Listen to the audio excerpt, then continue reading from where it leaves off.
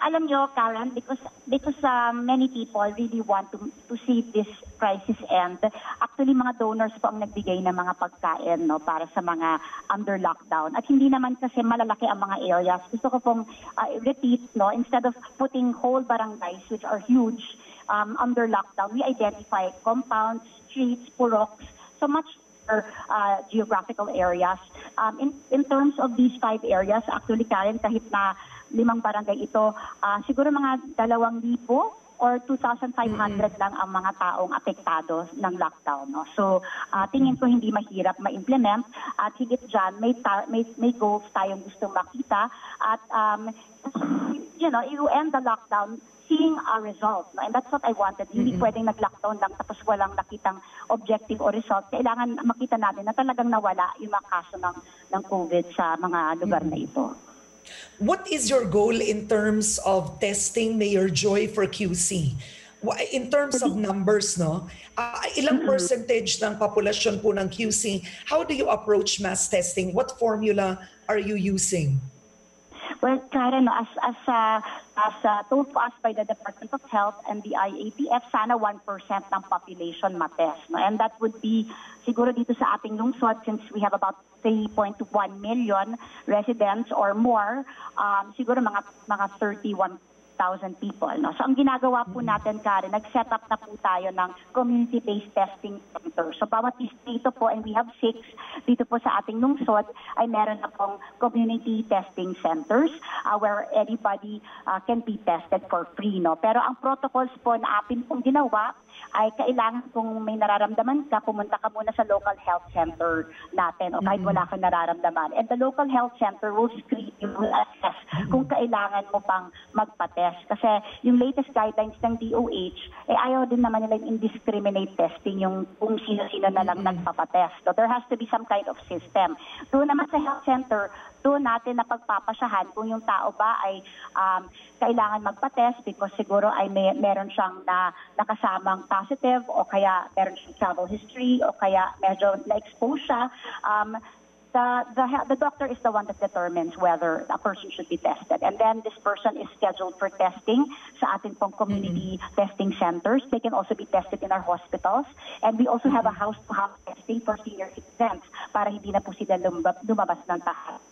And so, so far, um, we only um, we, we like to do PCR tests no, here in Quezon City because uh, we understand that while rapid tests are much more accessible, uh, din, no, uh, yung reliability in terms of uh, the results are not PCR tests. No? So sa PCR, we have done about 8,000 already so far. Mm. Um, araw-araw siguro mga 300 to 350 a day ang ginagawa po natin. At uh, mm. dito naman po sa ating uh, um, plano, tuloy-tuloy lang po ito at i-increase pa natin ang testing mm. as the people to it and we will increase the number of testing centers. We also are in the process of launching our mobile testing centers na isang uh, Very good. isang bus, yeah, isang bus uh, naiikot. I'm trying to get two buses nga kung kaya, mm-hmm. bus or truck that goes around the communities para magpa-test rin doon. No? And again, in cooperation with our health centers and our, uh, and our doctors. In addition to that, okay. Karen, I mentioned lang, um, um, yung ating five uh, places under special lockdown, rapid test po ang gagawin natin dyan because, because um, we want to do we want to do as many as we can there. And we mm-hmm. also have four, no, Karen. This is with, um, you know, Secretary Joey Concepcion. He has Project ARM. Mm-hmm. And um, mm-hmm. gusto rin niya ay uh, magpa-test din tayo using very nice, uh, reliable rapid test dito sa mga pinaka matataas in terms of attack rate. So gusto ko lang pong banggitin, Karen, attack rate is not in terms of absolute numbers, pero ito yung mga barangay na in terms of concentration, medyo madami sila. No? And uh, we will be mm-hmm. doing this as well today, 500 um, rapid tests in four barangays. At ito nating barangays with the highest attack rates Karen, gusto ko rin lang i-stress no, that based on our data, it's really the barangays closest to our hospitals na mataas ang attack rates. Kaya na, nanawagan mm. po ako, Karen, last week na kung sana ang ating mga ospital ay uh, maging siguro conscious na magtayo na sila or mag-impok na sila sa mga facilities. Kasi namin, about 25% of our patients are um, hospital-related cases, no, uh, or health workers, no, and uh, uh, marami sa kanila bumabalik sa kanilang mga tahanan at yung mga pamilya nila no. So it will be a big uh, help to us tulong din sa atin sa pagpapatayo ng kanilang iba't ibang mga quarantine facilities and we're very happy to support and uh, and help them no, do this. Okay. Or, or we can Oo. put one up and they can they can help us subsidize if these are private hospitals. All right. Because we have about Okay. 50 uh, in Quezon City. Okay. Now, now, Mayor, Mayor, I know that you're going to release detailed guidelines to each sector in Quezon City that will be starting in MECQ. I'm curious, let's start with construction because no less than Finance Secretary Sunny Dominguez said that build, build, build or any form of construction has a multiplier effect. Pagdating po sa construction, paano po yon? Would you want the workers to be sleeping in the area? What guidelines are you seeing to start construction in QC?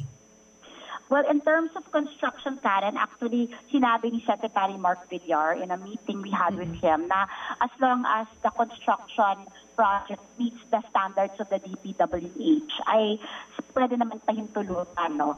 With a, a certain, of course, criteria na kailangan malaki ang barracks, ah, kailangan siguro may testing yata yung mga yung mga ah, construction workers etc. Pero here in Quezon City, we've decided to be a little stricter, Karen. Yung mga government projects ng PWH, of course, wala tayong problema dyan, no? dahil that is ah, monitored by the national government. Pero yung mga private projects, Karen, na hindi naman essential, and I would like to stress the word essential kasi ang E- MECQ ah, is still ECQ. No, I, I always want to rem- remind people of that. No? And of course, the word essential is still very important pag sinabi mong ECQ na kailangan tayong lumabas ng bahay para lang sa mahalagang mga gawain. No? So kung yung project ay hindi naman essential, hindi rin natin siguro papayagan muna para um, maprotektahan din yung mga construction workers kasi napansin natin marami sa kanila are very vulnerable dahil sa sitwasyon nila, natutulog na lang sila time, etc. No? So, um, yun ang, uh, yun ang napagpasahan dito sa local government. Of course, Mm-mm. yung mga Okay. basic, uh, yeah, like housing, yung mga emergency housing repairs, of course, you would allow things like that. Okay? Mm-mm. Okay, all right. Another thing is the implementation of the MECQ for malls. Quezon City has um, some of the largest malls. We're talking about Trinoma, SM North EDSA, and Fisher Mall, and other malls. And over the weekend, we saw photos that spread over the internet, allegedly on crowded malls. Uh, will this Yes. be purely a private sector initiative to follow the MECQ rules, or Quezon City will have a role in how to implement it, uh, Mayor? Well, ganito Karen, no, kasama syempre ang mga malls doon sa inisyu nating mga guidelines. At in fact, very detailed nga yung mga guidelines na ibinigay natin sa mga malls pertaining to social distancing because napakahalaga po na ma-implement po ito talaga ng WASTO. And we actually also gave them very detailed steps as to what they should be taking to ensure that uh, social distancing is respected in their malls. No? Um, having said that, naintindihan ko rin naman na nung nagsimula ang E- MECQ, siguro yung mga taong bayan ay sabik na sabik lumabas sa Oo. kanilang mga tahanan. Kaya hindi ko yan nakikita na yan ang norm. Nakikita ko na yan, pa, yan ang exception dahil ito yung unang araw na pwedeng lumabas ng tahanan. No? Pero um, kung kaya't nasa period of observation pa tayo, Karen, kung ito talaga yung pattern. No? Pero having said that, nung, nung, ah, sa, nung Saturday pa lang, nung nakita natin na nagganon na, nakipag-usap na po kami sa mga malls to please respect the, ah, the guidelines that we provided to them. Um, We also spoke with the PNP. No? Kinausap ko po yung Quezon City Police District na mag, mag, ah, mag-station ng ilan sa mga kapulisan sa labas ng mga malls. Kasi baka nakalimutan ng mga tao na kailangan pa rin sundan yung quarantine pass system na isang tao lang ang pwedeng lumabas mula sa kanyang tahanan. No? And now these police officers have been um, requested by us to make sure na yung papasok sa mall ay yung merong quarantine pass lang na one person per family. No?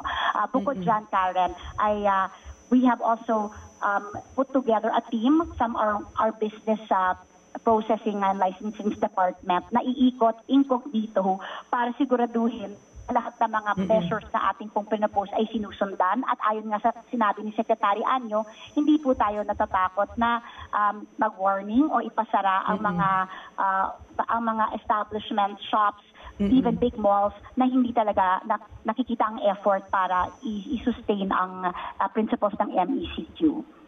Okay. Now, in terms of SAP distribution, ito yung social amelioration. The DSWD told me, and you can update these numbers, that Quezon City got 3 billion from the first SAP tranche. Tama ba ito, Mayor? Was it 3 billion?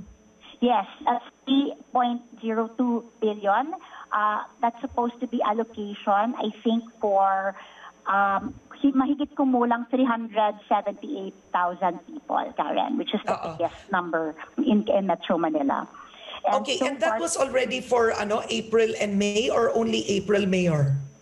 I think, Karen, that was supposed to be for April kasi yung unang deadline niya April 30. Tapos nag-request po yung mga mayors natin ng extension. So yung extension po ay ibinigay hanggang May 7, no, kung hindi ako nagkakamali. And um, Oo. ang, until umabot ito ng May 10, so yung yung pinaka-deadline was May 10. No? So we were we were assessed based on our performance on May 10. Pero um, dito sa Quezon City, Karen, we were able to give out 86% by that date. No? And um, Wow, very um, good. But, yeah, but how, how did you do that? How did you do that, Mayor? Because I remember seeing videos in Bagong Pag-asa, Quezon City, uh, where people were outside, there was no social distancing, and all the other mayors and governors I interviewed, the biggest challenge was really uh, on distribution of the SAP. Opo, Karen, really, you know, like for example, in Metro Manila, we are one-fourth, 25%. Nag humingi talaga ako ng, ng um, extension mula po sa ating national government. Sabi ko, napakalaki ng lungsod.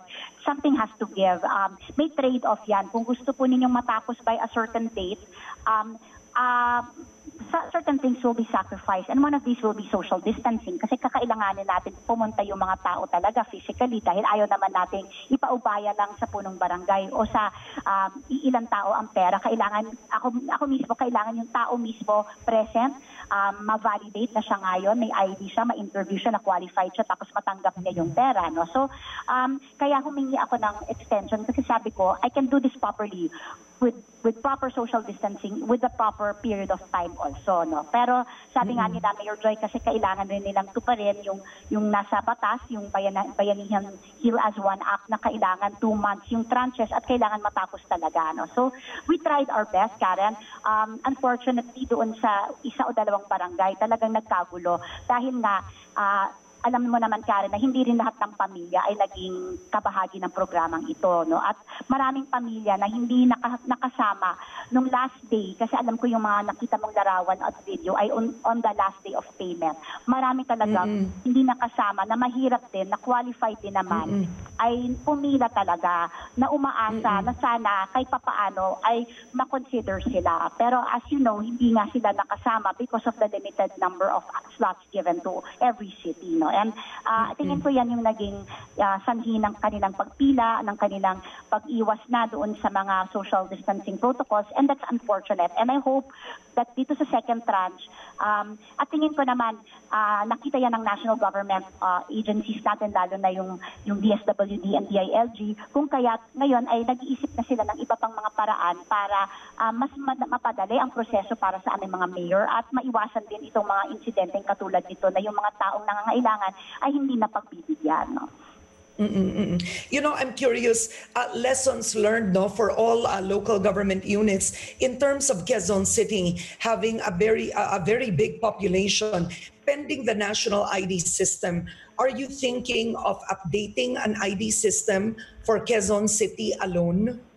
Actually, Karen, na- nakaka, ano lang, nakaka lang. Kasi may- in fact for forbidding na Karen yung ating Q citizen card no? At this is something I really wanted to do from the start since nag vice mayor ako. Napansin ko na kinakailangan talaga natin bigyan ng ID yung ating mga mamamayan para mapabilis ang mga proseso ng pagbigay ng tulong. Because uh, if they had an ID we can do what ka, what uh, Mayor Dina is doing where everything is on in GCash or Paymaya or you know, hindi na kailangan lumabas ng bahay. In fact, forbidding na po yan. Naabutan lang po tayo ng COVID, no? And uh, um, definitely pagkatapos itong crisis na ito, ipagpapatuloy po natin yan. And sa, I hope within the year, ang mga mamamayan ng Lungsod Quezon magkakaroon na ng sarili nilang Q-Citizen card. No? Pero nakatulong din itong proseso, Karen, ng, ng pabibigay ng SAP because nakita natin yung mga tao na kagawa na tayo ng mga initial listings ng uh, iba't iba nating mga uh, pamilya dito. And it will also be easier for us now to distribute the Q- Q-Citizen card once it will be implemented.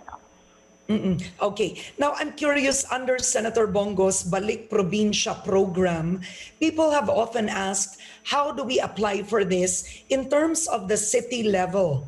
Have people applied already in Quezon City for this Balik Probinsya? How do cities support this? Have you talked about this in the IATF, Mayor?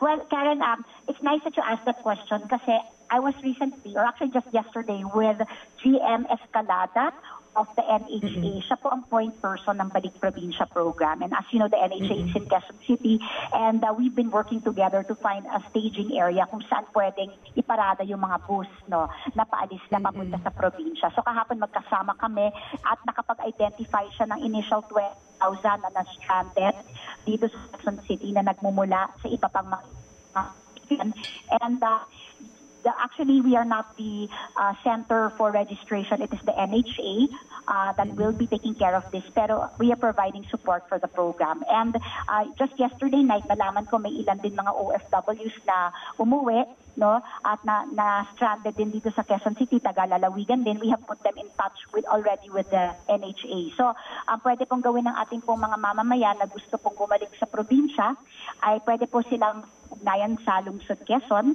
And we will in turn uh, make sure na makasama sila doon sa listahan ng NHA at ma-schedule sila na sa mga bus na paalis sa lungsod starting Wednesday no? So ang maganda dito many people kasi pumupunta sa Quezon City dahil the opportunities are here. But now after lockdown nakita naman natin that the cities have also been the hardest hit no? Dahil uh, the economy centers on the city and the, the, the economy took a big hit. So marami ding opportunities ngayon na nagbukas sa mga lalawigan, lalong-lalo na yung mga hindi apektado ng COVID at yung mga under GC uh, Q, uh, ngayon pwede na silang bumalik. GM Escalada told me in fact that for every individual that registers for this program, there is a job waiting for him already in a, in a province that they have identified. No? So um, they can work with us. The people can get in touch with us and we'll make sure that they are part of this program. Okay, so I'm curious, you mentioned there are 20,000 people that are stranded in Quezon City na gustong bumalik ng probinsya. Tama ito, Mayor. Where are they staying now? Well, actually, siguro, Karen, no, uh, you will be surprised to learn na um, when nag-distribute tayo ng pagkain, uh, yung, yung, yung finactor ko ng first wave ko was for our population, like 3 million or 3.1 million. Tapos nalaman ko there are 4 million people in Quezon City in lockdown during ECQ. At uh, lahat itong mga na, na hindi ko na-factor in, lahat yun ay taga iba't ibang bahagi ng, ng Pilipinas na nagtatrabaho dito sa Quezon City. So, uh, they are living as boarders or as tranches, as renters or sharers in our different uh, apartment buildings here in Quezon City na nakita ko rin na hindi pala rin sila nakapagre-rehistro sa mga barangay. So even the barangay uh, captains were surprised to have that many residents living in their barangays. Kaya um, nakita natin na mahalaga talaga yung ID system then to find out who are our residents or not. But they were living all over our city, living in various uh, households that were being rented out to them. Uh, have you already calculated uh, the loss in terms of income for Quezon City during our last two and a half months of lockdown?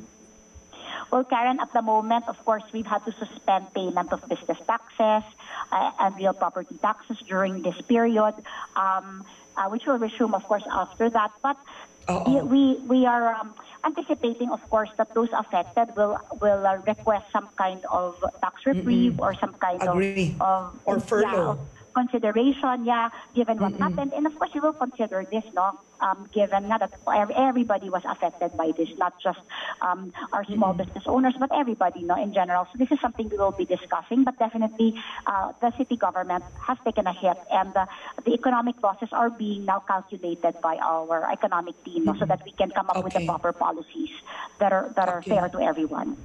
All right. My last question, Mayor, before we go, is uh, you were quite controversial during the beginning of the COVID pandemic. You also received your fair share of criticism on social media. What are your learnings after all this? I mean, we've now been on lockdown for more than two months. What have you learned as, um, I guess, also as not just as um, the head of the city, but even as as an individual that's gone through something quite difficult yourself, right? What are, what are Yes. your learnings that you can share?